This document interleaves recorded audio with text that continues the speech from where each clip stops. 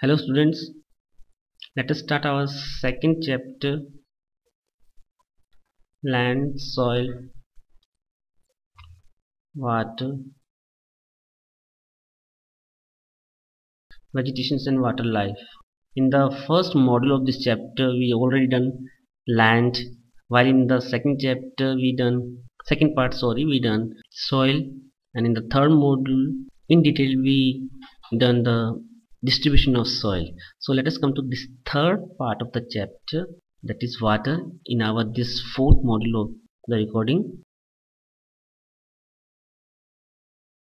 Water resources. If we come to earth then the two-third part of the earth is covered earth surface is covered with water and only one-third part of the earth is this land part. So our earth has a lot of water and that is why earth is also known as a blue planet.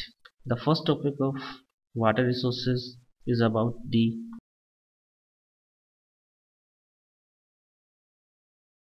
utilization of water. How to use water?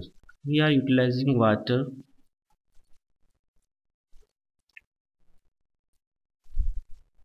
for different different purpose because water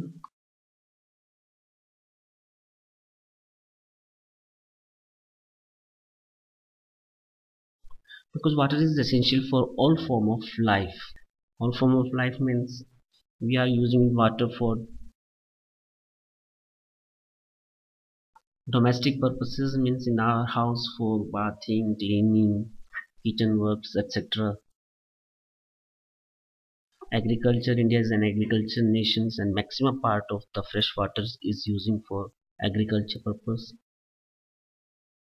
Industries if we see then maximum industrial cities of the world are located on the bank of rivers delhi on the bank of yamuna kanpur and industrial city on the bank of Kan, uh, ganga again london on the bank of thames new york on the bank of river hudson etc water is also used in the modern world for the production of hydroelectricity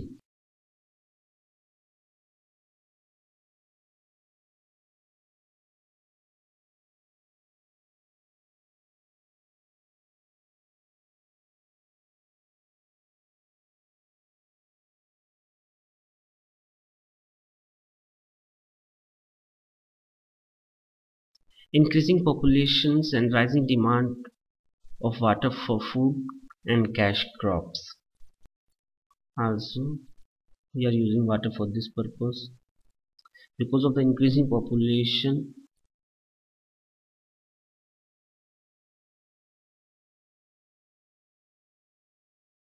the urbanization is also increasing means the demand for domestic and other purpose of water is also increasing because of urbanization we see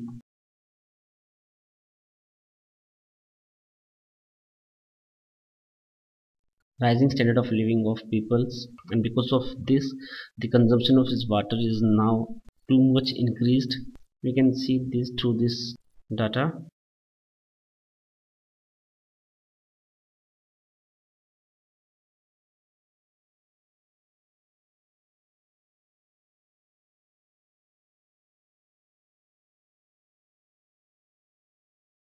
In the year 1975, India is using only 3,850 cubic kilometer per year, while in the year 2000 it is approximately doubled by 6,000 cubic kilometer per year. Within 25 years, the consumption of water is doubled.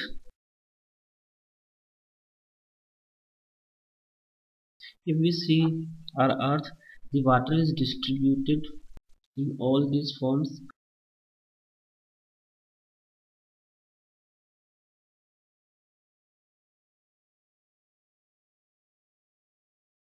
It is a renewable natural resource which is found in the three-fourth part of earth's surface and that is why earth is also known as a water planet or a blue planet if we come to oceans then over two-third part of Earth's surface is covered by oceans only, in which the Pacific Oceans cover the 44% Earth's surface area. So this is what we see that the maximum part of Earth's water is a saline water, salty water.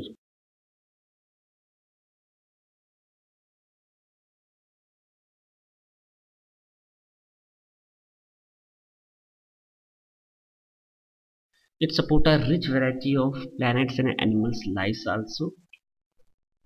As we see, the maximum part is the saline water. So, if we come to the fresh water, then it is only 2.7% of the total water available on earth. Among this fresh water the 70% of the total fresh water is in the form of ice sheet in the northern plate north pole south pole and in glaciers. And only 1% or we can say less than 1% of the total water available on the earth is fit for use. So this is how we see that only a very few amount of water is available for our use. For example this is the total amount of water on earth. Among this only this person this much of water is a fresh water and among this only this dot is a water which is available for us or which is fit for use. But in this this much amount of water that is the 1% of water the maximum part of the water drain on oceans because they are in the form of rivers and rivers draining sea. So a very less amount of water is available for us and that is why water is a very important source of resources for us. Let us understand water cycle. Whatever water is drained is given by nature to us is become a ocean that as i said that rivers drain in sea so maximum part of water become a saline water. Again that water become a clouds and reached on earth's surface as a fresh water. This is in the form of water cycle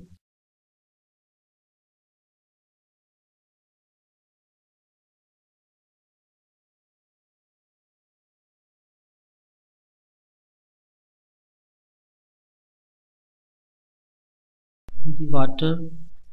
Because of the heat and sun water vapors rise up and become a cloud. Then these clouds comes to lithosphere where they rain on the lithosphere and this is how we get, get the fresh water from here. In the form of rivers the water again drain on sea and this is how what we see is the cycle of water. This is known as water cycle which I think you all of you know. That's all in the fourth module of the chapter.